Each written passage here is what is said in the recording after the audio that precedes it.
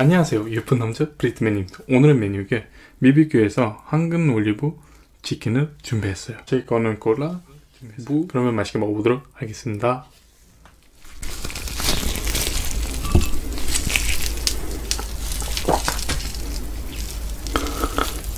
비스밀라흐마니라힘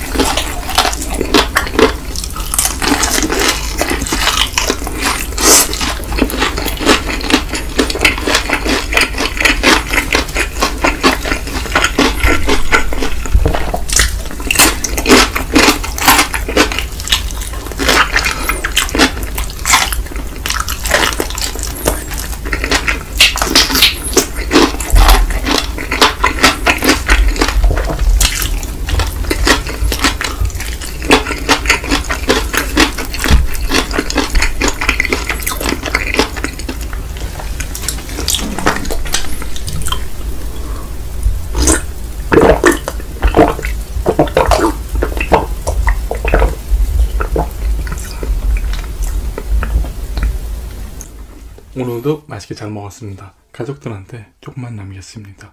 항상 행복하세요. 안녕.